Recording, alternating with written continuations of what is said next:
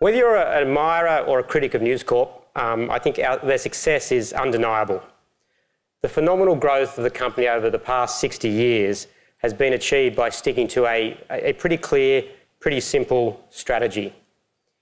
Invest in compelling information and entertainment which will attract and engage mass audiences and then work out how to monetize those audiences.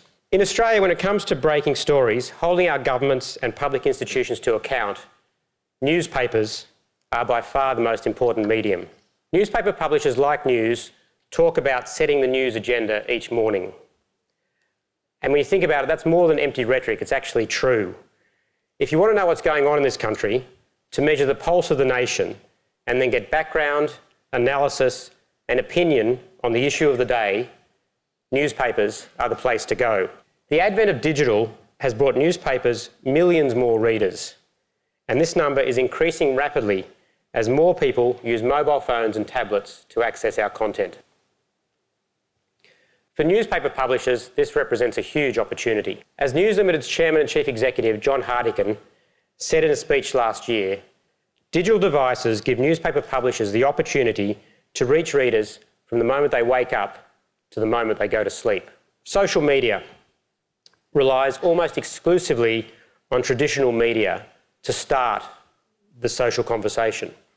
Look at some research, the Pew Institute, the Pew Research 2010 New Media, Old Media report, which concentrate on US media, but it found that bloggers still rely on traditional media for their information. Digital versions of US newspapers and broadcast networks accounted for 75% of all items linked to by blogs. International media, such as the BBC and The Guardian, accounted for a further 24% which means web-only sites did not make up even 1% of the links. Let me just say that again. Over 99% of links from blogs originated from traditional sources. And you look at the explosion in traffic News Limited gets from Facebook, um, it, which tells us that when people want to inform their friends about something, it's the mainstream media that they're linking to. So content's not the problem, traffic's not the problem. The challenge is converting that audience into income. In the digital world, monetization takes four real forms. There's subscription income, there's display advertising, classified advertising, and transactional revenues. As far as classified advertising and transactional revenues go, news is in pretty good shape, which leaves us with display revenue and subscription revenue. As you all know, the Australian online display category is growing pretty quickly, and news is a major player. Since we launched News Digital Media in 2006, we have very comfortably outpaced the market, growing both revenue and share of the top five publishers. In fact, with the explosive growth, growth of tablets over the next five to 10 years, we see enormous possibilities for display advertising on our apps. Engagement levels with our news apps are high, and the tablet experience combines the best of newspapers and the web, so, so creating a perfect environment for advertisers. And on this point, let me be very, very clear. Display revenue is and will remain a very, very important part of our overall revenue mix, and we're not going to do anything to jeopardise that revenue. But we also believe when it comes to online, the newspaper industry has been let's say, a little bit forgetful about a revenue stream that served a lot of media companies, and in fact most products, pretty well. The novel idea of actually getting people to pay for something that you produce. Why pay for something I can get for free is the commonly asked question. A lot of the Australian's content is unique and of real value to its readers. And this makes it the country's best and most influential news brand. Which is why asking people to pay something for it is a very reasonable and very logical next step. But there's an important point to make here.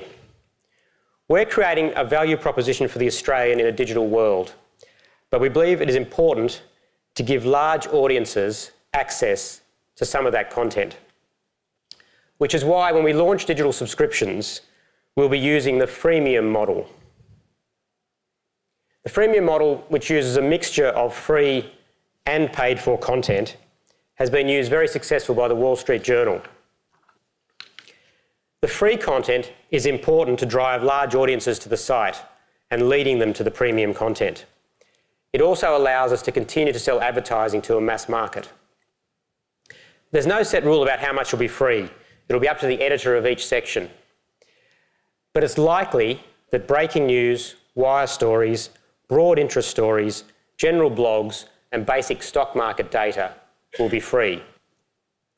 But only our subscribers will be able to access the large amounts of unique content in our key verticals national affairs, business, media, higher education, IT, and so on.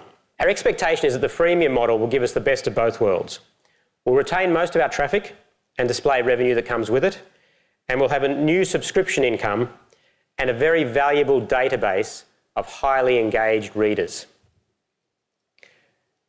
To coincide with the launch, we'll be unveiling a redesigned website which will have many new features, simplified navigation and enhanced functionality. We'll also be launching a brand new M site. For the time being, we'll keep our existing iPad app as it is. Our intention is to launch in October this year, once we have finished testing all the new technology involved in building subscription systems and, and so on. A digital subscription to The Australian will cost just $2.95 per week. And this will give you access to the entire website, to our iPad and Android apps, and to the M site. One subscription, one login across all platforms, and no hassles. We'll also have two print plus digital packages. New six day print subscribers will get print and digital access for just $7.95 a week, just a dollar more than the current print standalone price. And the Weekend Australian plus digital, which we expect to be a very popular package, will be only $4.50 a week. If you're an existing six day print subscriber, you'll receive complimentary access to our digital packages. For less than the price of one decaf skinny soy latte, you will get access to the country's best journalism across online, tablet, and mobile for a whole week. After a lot of research and market testing, we're pretty confident of success. We're also encouraged by the success of our, of our other sister companies around the world and their digital launches, in particular the Wall Street Journal and the Times and the Sunday Times in London. After six months, the Times now has 79,000 digital subscribers, and the number is growing every day. The rise in digital subscribers is more than offsetting declines in print circulation. That is, the Times is actually growing its overall circulation numbers. And here's the important bit. They are making more money from their 79,000 digital subscribers than they did from the 20 million unique browsers they used to have. Initially, we're targeting the ones we call the migrators that have come out of the research. These are the people that love and buy newspapers. They love our content, the breadth and depth of our coverage, and the expertise of our journalists. But lifestyle pressures mean they don't get to read a printed newspaper uh, as often as they used to, as often as they would like. So a digital offering is perfect for them. Being subscribers, we will know a lot about them who they are, where they live, their likes and dislikes, interests and habits. And the experience of the Times in London suggests that the subscription environment is incredibly attractive to advertisers. The Times has done extensive research into subscriber attitudes about their websites. The feedback is overwhelmingly positive. Subscribers, having paid for the privilege of joining, feel they are with like minded people, part of a community, not just an audience and they identify more strongly with the brand. It feels, they say, like being part of a club. Subscribers feel they're in a premium environment and the content has been tailored for them. And what's more, they're more receptive to advertisements. And this has huge implications for advertisers. The perception of the premium environment means that increased value is given to products within it. Subscribers do expect ads to be relevant to them and of a certain standard. But when you advertise products that are aligned with the needs of this audience, the Times found that message and brand recall increases by up to 20%. So, in summary, digital subscribers are more engaged with the content and give increased value to products placed alongside that content. And we think that's an attractive proposition for any brand.